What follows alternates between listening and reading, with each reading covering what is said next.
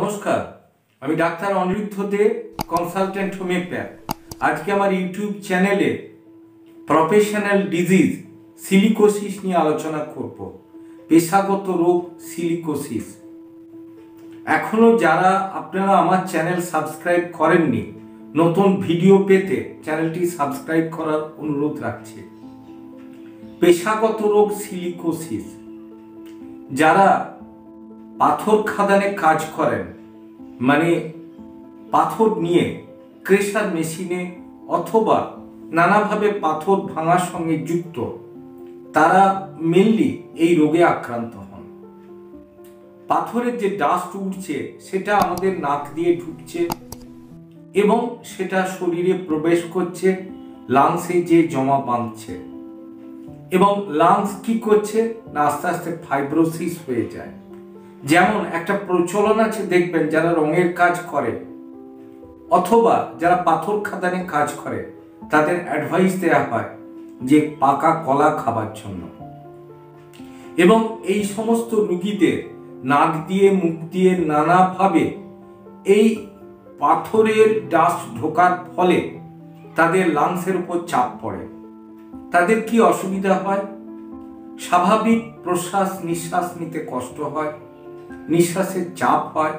ফ্রিভাবে নিঃশ্বাস না নিতে পারার জন্য ব্রঙ্কাইটিস ব্রঙ্কো নিউমোনিয়া এমনকি লাং ফাইবোসিস হয়ে COPD, chronic obstructive pulmonary disease, রাত্রের দিকে ঘুম না আসা, হাঁপের মতো রোগ হওয়া, অস্বস্তি বোধ করা, রাতের পর রাত জেগে থাকা, ঘুম থেকে উঠে গরম জল বা কিছু খাবার খাওয়া বা চলাফেরা করা নাক বন্ধ হয়ে যাবার ফলে নিজের মরা, মরে যাব এই ভীতির থেকে সে না ঘুমোতে পারা, দিন দিন শীঘ্ন কায় হয়ে যা, ওজন কমে যা, এগুলোই হচ্ছে সিলিকোসিসের লক্ষণ।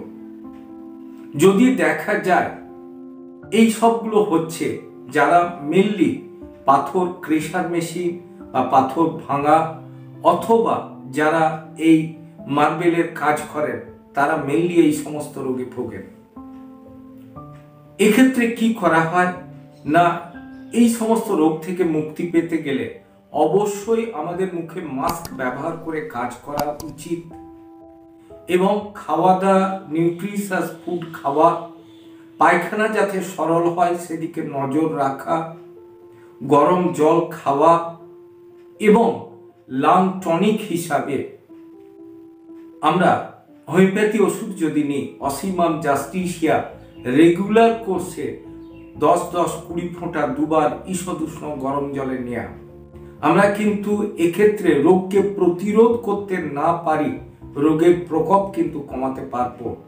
এবং ফুড ভ্যালু যাতে আছে মেনলি আমিষ খাবার খাওয়া, কিছু ফল, রঙিন ফল খাওয়া, যেমন মৌসুম্বি কমলা লেবু কলা আমের সময় আম বা অন্য কোনো ফল।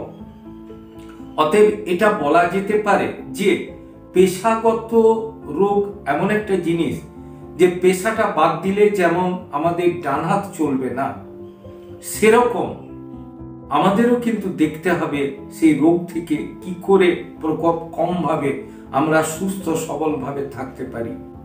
আমার চ্যানেল যদি আপনাদের ভালো লাগে, অবশ্যই লাইক করুন কমেন্ট করুন শেয়ার করুন সাবস্ক্রাইব করুন।